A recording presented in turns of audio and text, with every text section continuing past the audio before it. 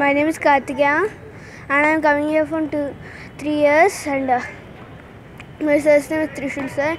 He trains very nice.